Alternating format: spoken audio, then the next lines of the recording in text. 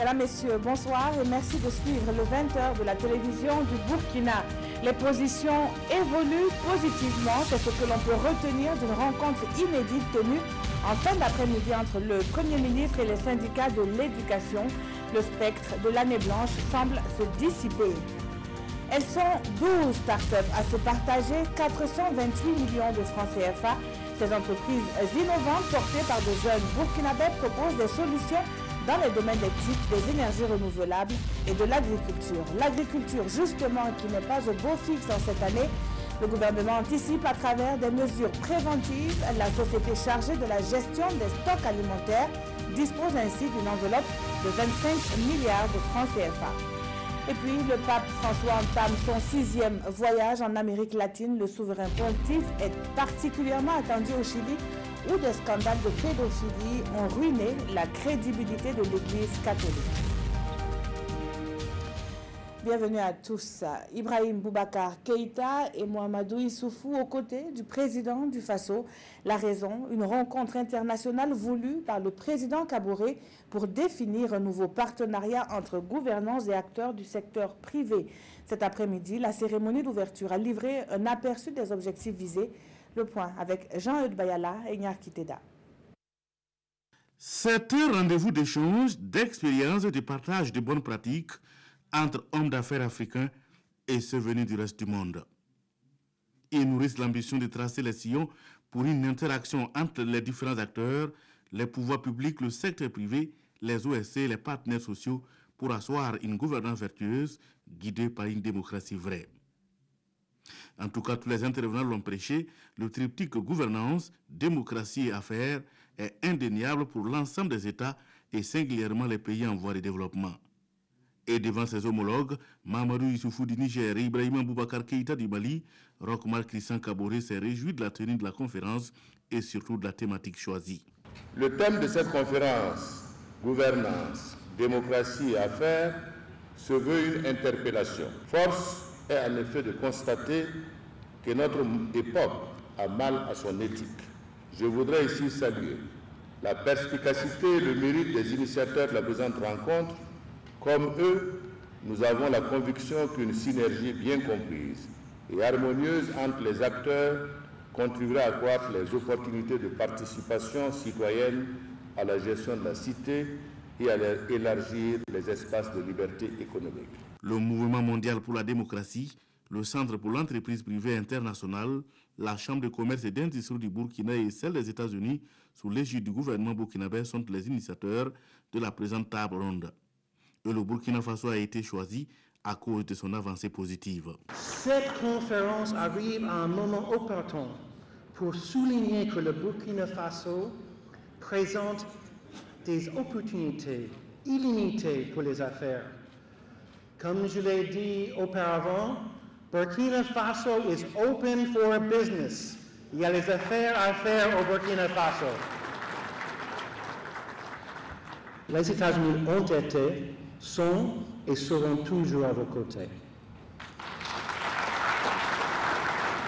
Cinq panels sont au programme pendant ces deux jours d'échange et devraient leur permettre d'identifier clairement les points saillants qui mettront en relation les trois secteurs pour un développement durable en Afrique. Et quelques heures avant l'ouverture de cette rencontre, le chef de l'État s'est entretenu avec les membres du Conseil supérieur de la magistrature, une séance de travail qui fait suite à celle entamée le 4 décembre dernier. Parmi les dossiers à examiner, l'élaboration de documents cadres des rencontres entre le président du FASO et le Conseil chargé de garantir l'ordre judiciaire burkinabé, Roger Kam Traoré. Cette rencontre entre le président du FASO et les membres du Conseil supérieur de la magistrature est une suite de celle du 4 décembre dont l'ordre du jour n'avait pas été épuisé. Aujourd'hui, il s'est agi de continuer l'examen des rapports produits par le Conseil supérieur de la magistrature, d'examiner et adopter le projet de document cadre des rencontres entre le président du FASO et le Conseil. Deux thèmes étaient également au centre des débats. La performance des juridictions au Burkina Faso pour l'année 2016-2017 et les rapports du Conseil supérieur de la magistrature avec les autres pouvoirs.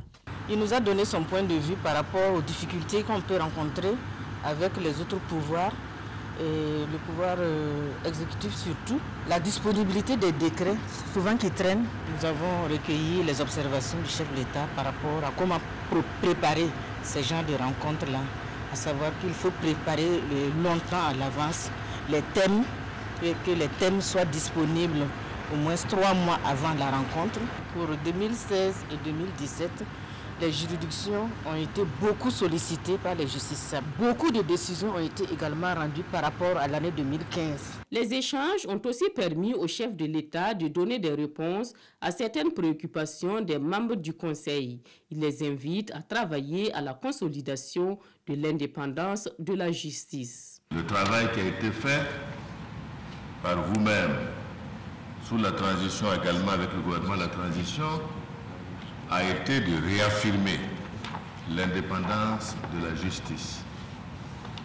Mais comme on dit aussi, euh, autant cette indépendance est affirmée, autant il faut travailler justement à ce que nous puissions non seulement la consolider, mais également, euh, euh, je dirais, la mériter.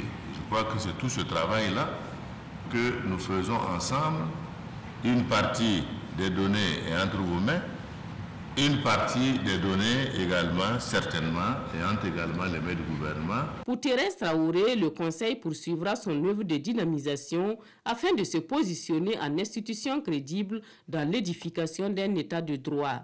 Il est prévu au cours de l'année 2018 l'institution des sessions du Conseil de discipline des magistrats.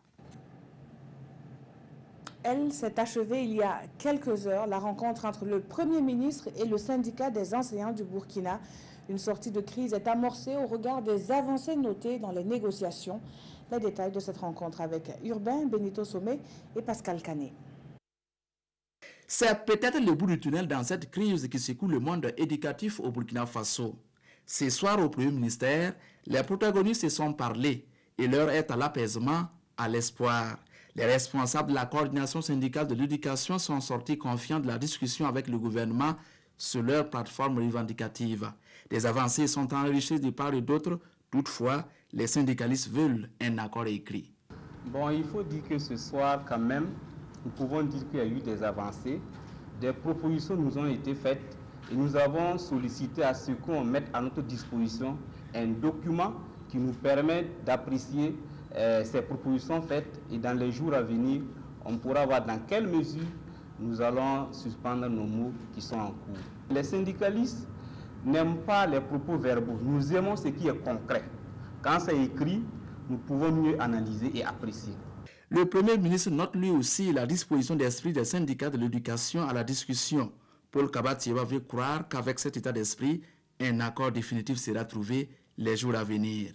Je suis convaincu que sur la base donc, euh, des discussions que nous avons eues cet après-midi, que dans un très proche avenir, euh, en tout cas, nous pourrons euh, trouver les bases pour trouver une solution définitive à ce conflit social qui a trop longtemps perturbé le fonctionnement donc, de l'école burkinabé. En tout cas, à, l'issue donc, de nos échanges cet après-midi, je peux dire que tout cas, les, bases sont là et, dans un très proche avenir, je pense qu'on pourra euh, trouver une solution définitive. Les discussions entre gouvernement et syndicats de l'éducation se poursuivent demain. En tout cas ce soir, chaque parti semble avoir fléchi ses positions et un accord écrit est apporté demain. Un peu plus tôt dans la matinée, toujours à la primature, des négociations se menaient sur l'opérationnalisation de la fonction publique hospitalière. Un accord entre les différentes parties est en vue, même si quelques blocages subsistent encore. Précision, Adama Guiti avec Vincent Kenobogo. Entre le gouvernement et les syndicats de la santé, les négociations auront duré trois heures et demie. Et selon le ministre de la Santé, un accord entre les parties est à portée de main nous sommes arrivés à une étape de discussion pour lesquelles des calculs savants sont nécessaires pour savoir jusqu'où on peut aller. Mais l'un dans l'autre, nous pensons avoir atteint un point d'engagement tel qu'un accord est possible d'ici jeudi. Côté syndicat, le niveau de satisfaction diffère d'un représentant à l'autre, chacun prêchant pour sa chapelle. Pour les infirmiers brevetés et infirmiers d'État, il y a espoir. il y a espoir. Même sentiment pour les accoucheuses, sages-femmes et mailloticiens d'État. Des propositions nous ont été faites. Alors nous sommes euh, en bonne voie et nous pensons que d'ici le prochain rendez-vous, un consensus sera, sortira en tout cas de ces, de ces entretiens. Et les médecins, des avancées? Il y a eu vraiment beaucoup d'avancées sur ce qu'on a arrêté. Maintenant, il y a une discussion sur la mise en œuvre, les process. Et je crois que ces process-là euh, vont être exposés à la base et ce sera à la base de décider. Côté Sincha, on joue la carte de la prudence. Effectivement, nous nous sommes concertés, mais on attend tant qu'il n'y a pas un protocole signé, tout est possible. Parce que pour le moment, il y a un blocage quelque part, il y a un point d'achoppement sur lequel on ne s'est pas entendu et on ne peut pas dire que les choses vont. Pour ce grand syndicat de la santé humaine et animale, le point d'achoppement se situe au niveau de l'application de l'incidence indiciaire. Le gouvernement voudrait la retarder, tandis que son partenaire la veut dans l'immédiat. Une autre formation syndicale annonce des mouvements dans les prochains jours. Le syndicat des administrateurs civils, des secrétaires et adjoints administratifs était à la, face à la presse pour dénoncer la lenteur du traitement de sa plateforme revendicative. Le compte rendu de cette conférence avec Moussa Ouedraogo et Ismaël Diloma Sirima. Des mouvements d'humeur et des protestations syndicales en vue pour dénoncer la lenteur du traitement des revendications du syndicat national des administrateurs civils, des secrétaires et adjoints administratifs, le SINAXAB annonce des grèves et des sit-ins. Le syndicat national des administrateurs civils, des secrétaires administratifs et adjoints administratifs du Burkina observera 48 heures de sit-in à compter du lundi 29. Ce sit-in sera suivi 72 heures de grève à compter du mercredi 31 janvier au vendredi 2 février sur toute l'étendue du territoire national. L'annonce de ces mouvements d'humeur fait suite à ce que le SINAXAB qualifie de démission du gouvernement. Leur avons dit qu'il fallait nous proposer un calendrier qui dit clairement à quel moment les administrateurs civils pourraient en tout cas commencer les négociations. Malheureusement, on nous a fait savoir maîtrisait pas le calendrier du gouvernement. Des réponses qui amènent le SINAXAB à douter de la bonne foi du Haut Conseil du dialogue social. Le SINAXAB dit se joindre aussi à la CGTB pour décrier les personnes choisies pour représenter le monde syndical à ce dialogue social. À présent, cette cérémonie qui a fait 12 heureux, il se partage une enveloppe financière de 428 millions de francs CFA pour concrétiser leur projet. L'innovation a beaucoup compté dans cette sélection menée par le programme Burkina Startup. On en sait plus avec Issa Kafando et Zalisa Sanfo. Fini les longs files d'attente dans les banques les hôpitaux, les compagnies d'assurance et autres structures dont le temps d'attente est toujours trop long et fastidieux. La solution, c'est lui qui la propose. Juste un clic sur un téléphone portable. Vous pouvez prendre un numéro n'importe où vous êtes euh, via votre smartphone et vous êtes alerté au moment opportun en fonction de votre position euh, géographique pour vous rendre en banque donc vous ne faites plus la queue, vous arrivez en banque et vous pouvez passer directement faire votre opération. Et grâce à ce projet, Vladimir Sawadogo est lauréat du programme Burkina Startup. Il va être accompagné par le Fonds burkinabé de développement économique et social à hauteur de 41 millions de francs CFA.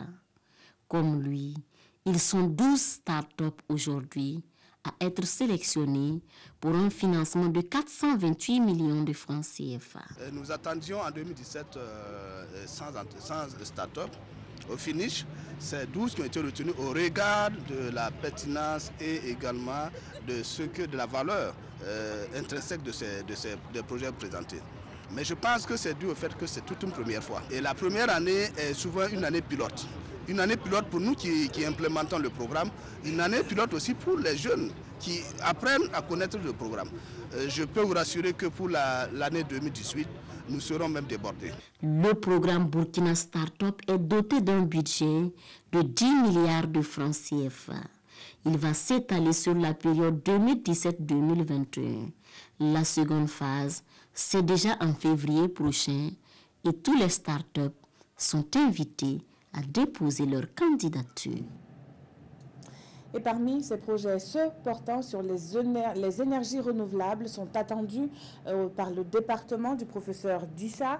Le ministre de l'Énergie est en tournée dans la région de la boucle du Mouhoun pour constater l'effectivité du projet d'électrification rurale.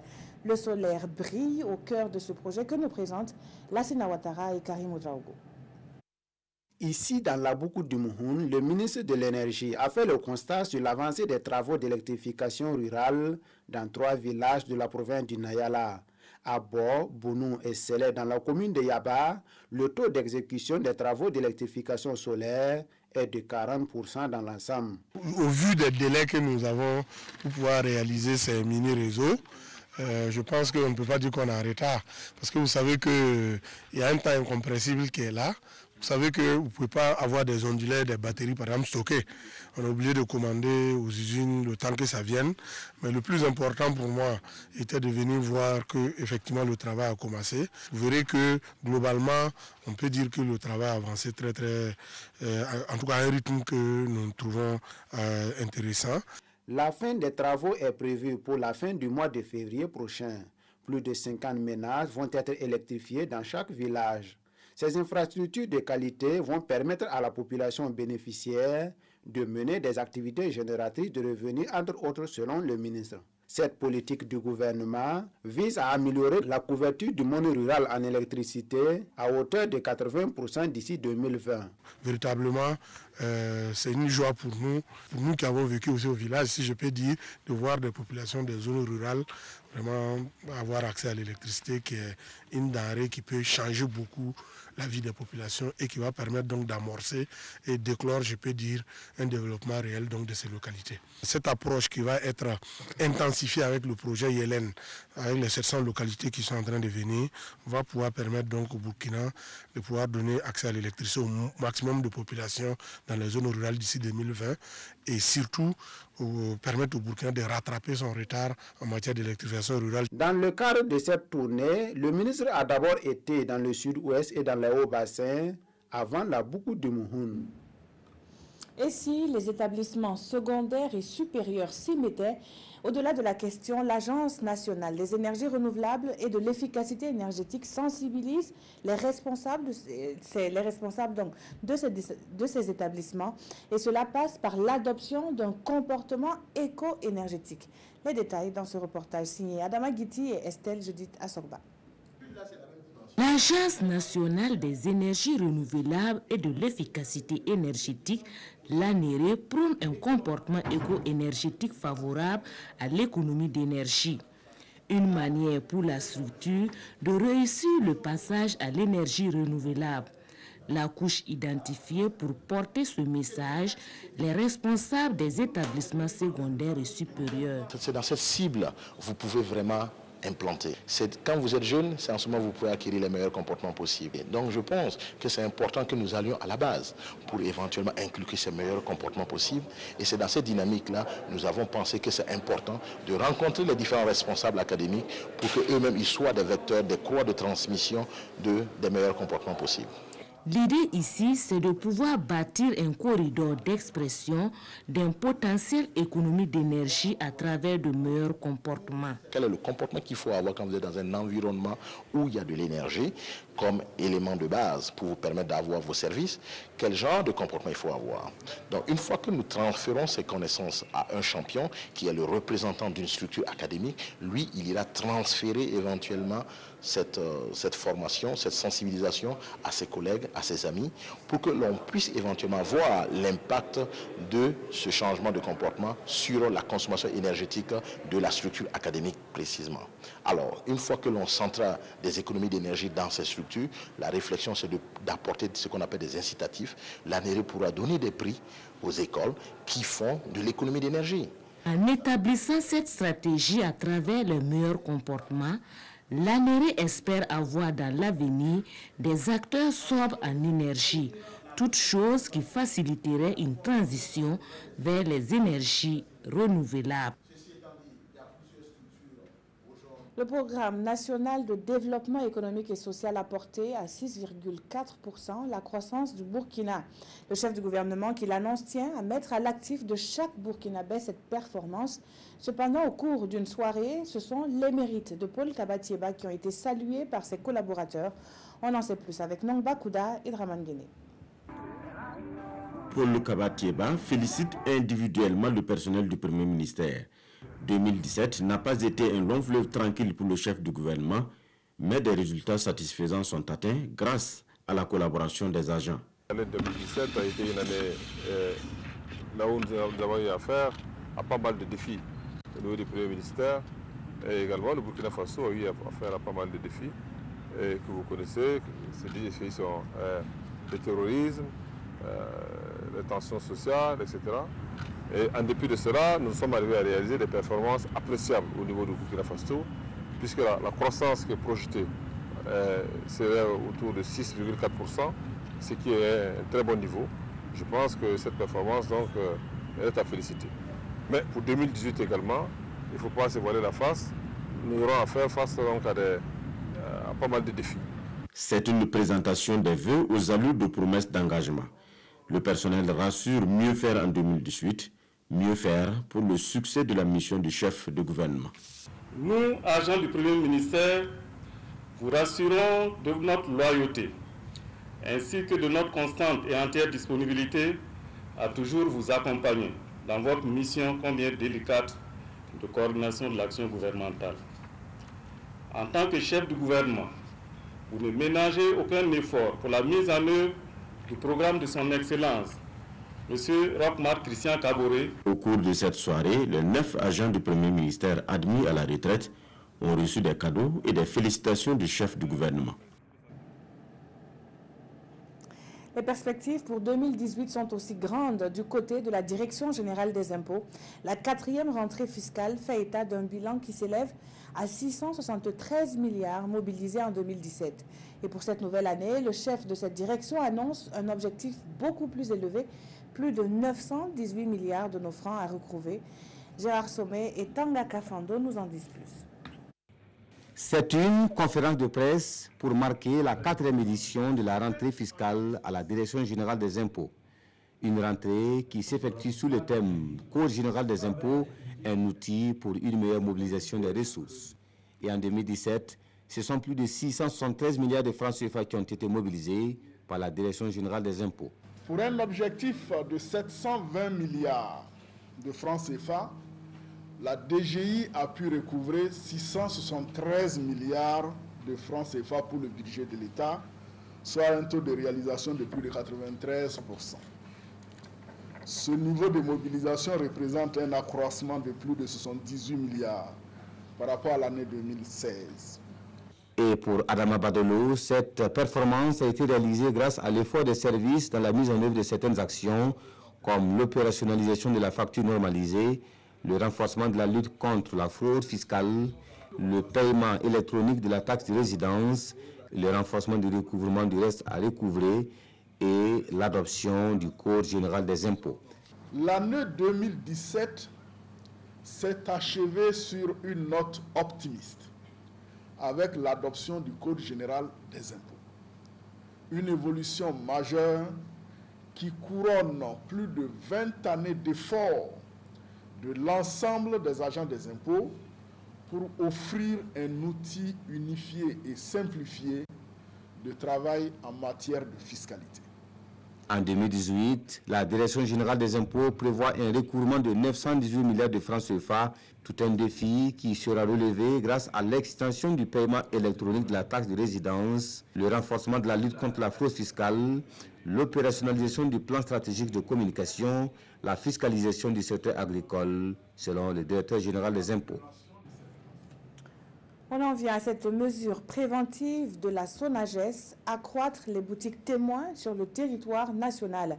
Les zones où le déficit céréalier est des plus criards sont prioritaires dans ce dispositif qui s'élève à 25 milliards de francs CFA.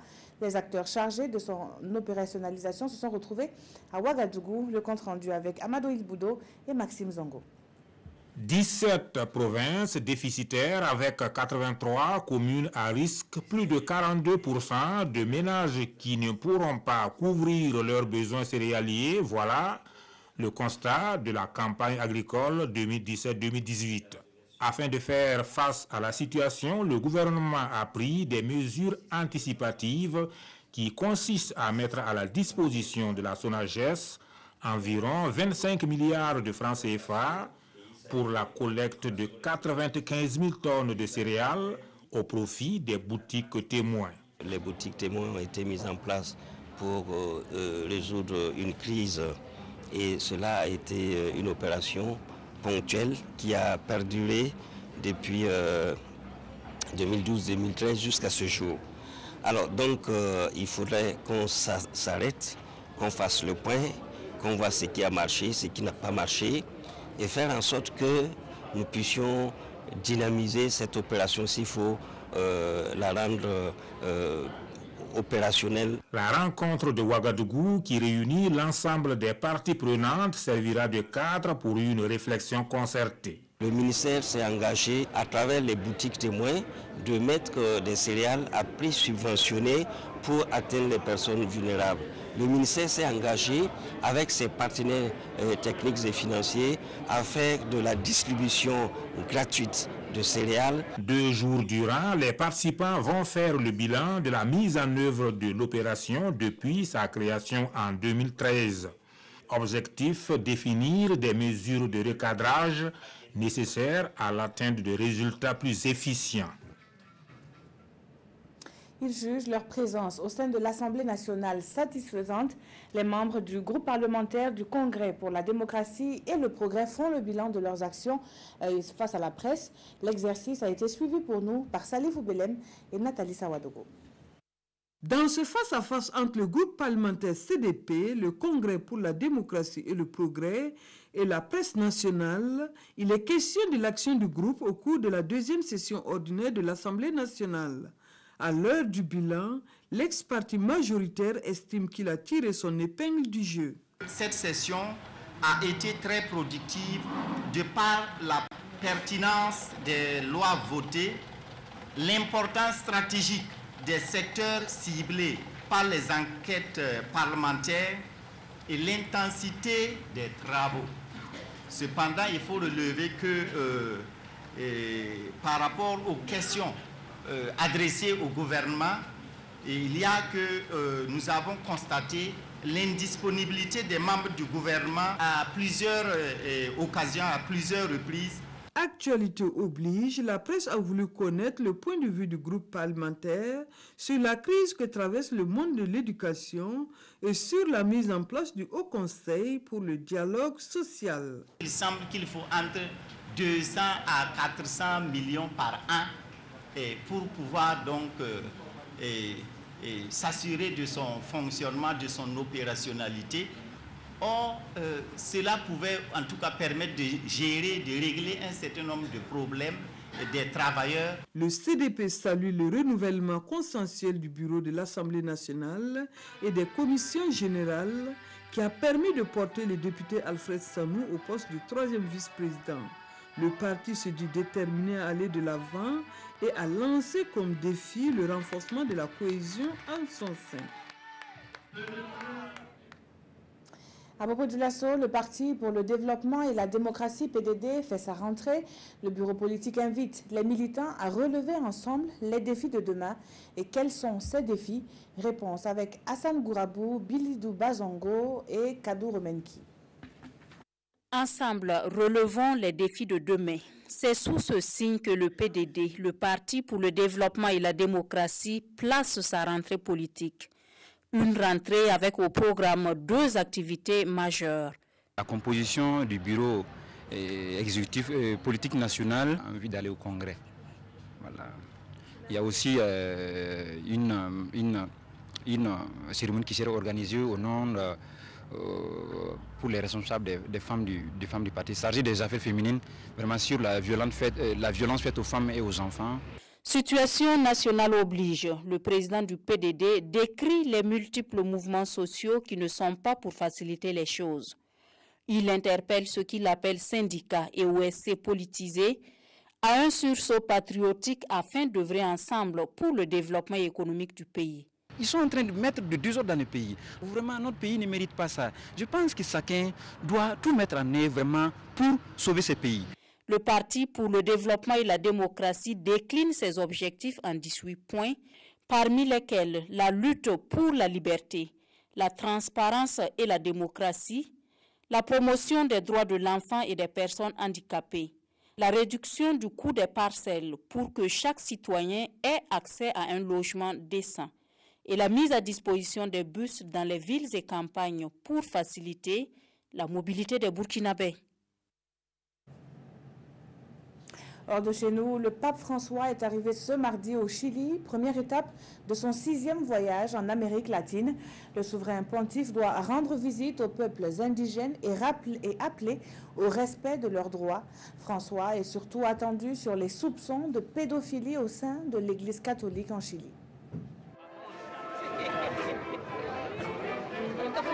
Accueil en grande pompe pour le souverain pontife qui entame ce lundi son sixième séjour diplomatique en Amérique du Sud. C'est au Chili, où la présidente Michelle Bachelet l'attendait sur le tarmac, que le pape commence la première étape de son voyage. Un voyage pendant lequel le pape devrait visiter dès mardi une prison pour femmes dans la ville de Santiago, la capitale, avant d'aller à la rencontre mercredi du peuple indigène des Mapuches. Le pape François devra aussi rencontrer les autorités religieuses locales. Au Chili, où des scandales d'abus sexuels ont éclaboussé l'Église, la pratique de la foi catholique recule au profit de l'athéisme et des mouvements évangéliques.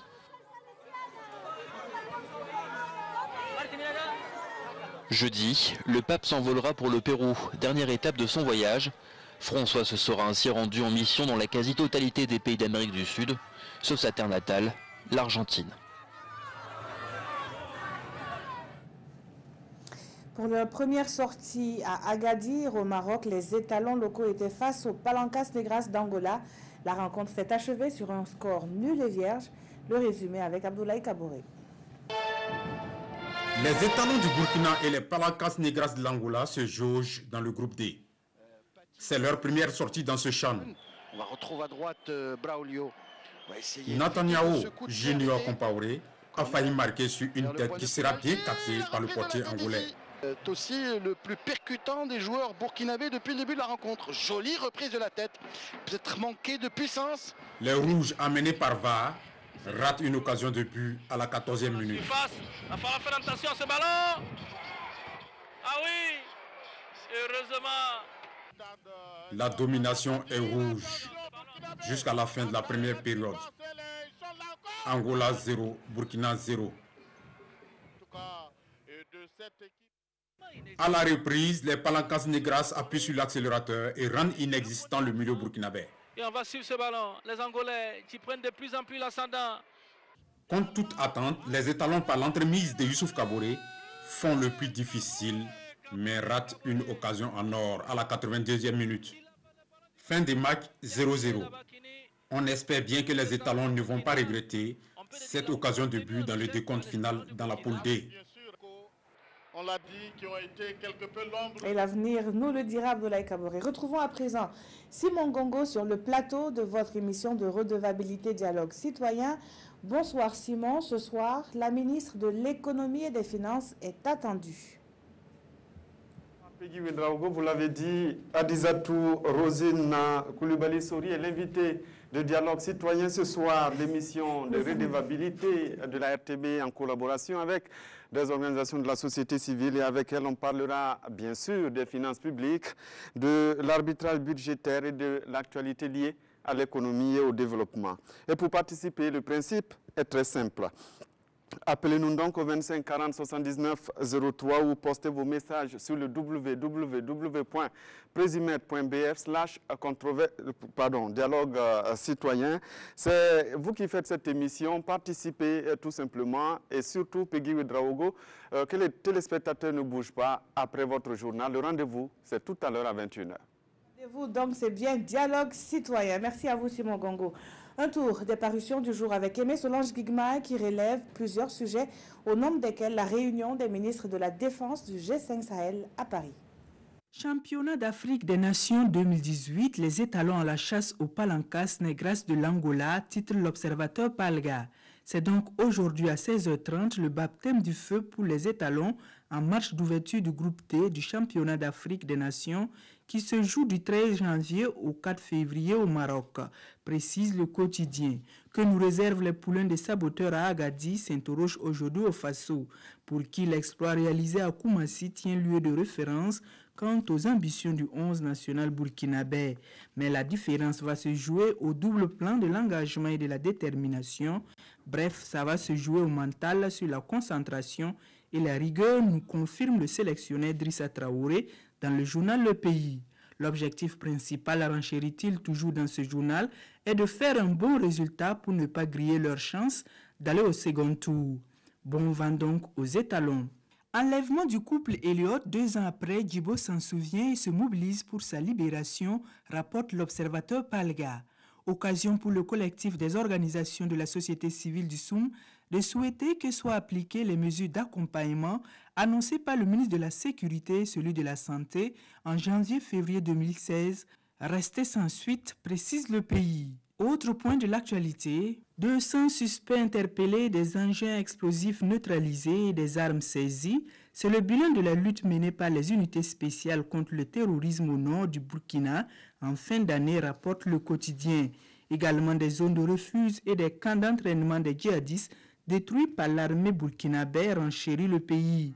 Pendant ce temps, les ministres de la Défense des pays du G5 Sahel sont en réunion à Paris pour discuter des moyens d'accélérer la montée en puissance de cette force, signale aujourd'hui au Faso qui voit un second coup porté dans les flancs terroristes.